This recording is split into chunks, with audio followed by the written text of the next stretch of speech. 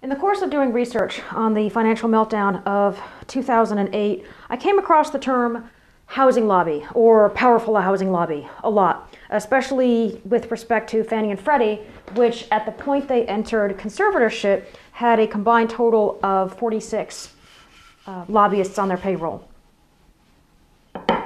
So I was kind of curious as to the connection between the powerful housing lobby and the financial meltdown of 2008.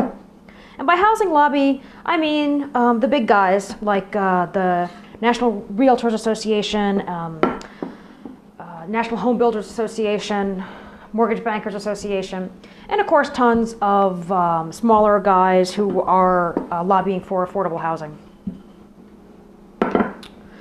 Found was that uh, people don't seem to be that excited about the housing lobby or the powerful housing lobby, especially in comparison to the evil financial services lobby, like Goldman Sachs and Lehman Brothers and those guys.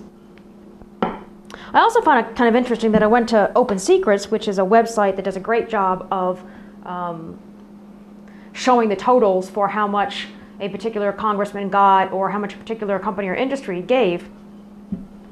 Open Secrets actually combines the industries. They combine insurance, real estate, and the financial services industry into one total in terms of how much was given.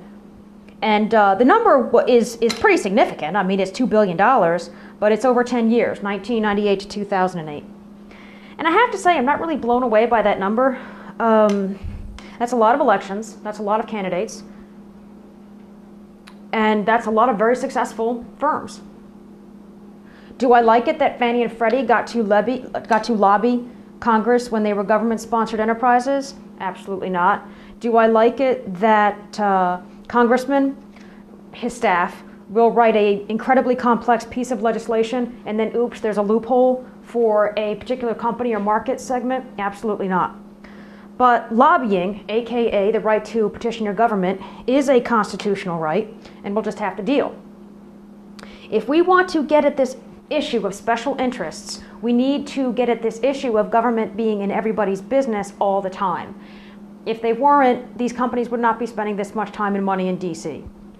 And if we want to get at this issue of special interests, we are going to have to flatten and streamline our tax code so that loopholes can't be auctioned off. And finally, if we want to get at this issue of special interests, then we need to get at this issue of voters continually putting in guys like Obey, Dodd, Waxman, Bennett, and Frank in Congress for generations so that they get so incredibly comfortable spending taxpayer money.